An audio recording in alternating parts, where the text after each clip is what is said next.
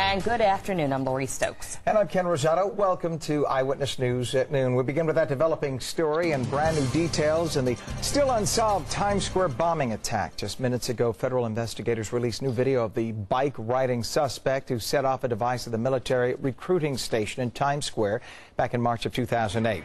Now they are linking that attack to other unsolved bombings. Eyewitness News reporter Stacy Sager live in Lower Manhattan with the details. Stacy.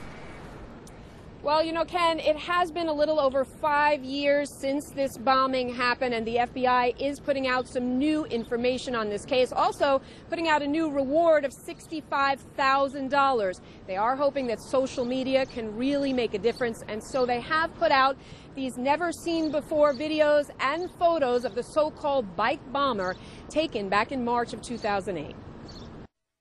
It is the first time we're seeing some of these pictures that the FBI has had for more than five years. Video of the person behind the 2008 Times Square bombing. The target, a U.S. Armed Forces recruiting center here in Times Square. The only good news is this happened in the middle of the night, so nobody was hurt. The suspect riding on this old Ross bicycle and here's a brand new photo of the device that was used. It was placed into an ammunition can, commonly found on the battlefields of Iraq and Afghanistan. And according to the FBI, it was filled with black powder detonated using a time fuse. The FBI is also confirming that this incident is indeed very similar to two others here in Manhattan, both of them involving a suspect on a bicycle carrying grenades like these. One explosion was here at the Mexican consulate in the city back in 2007, the other at the British consulate back in 2005.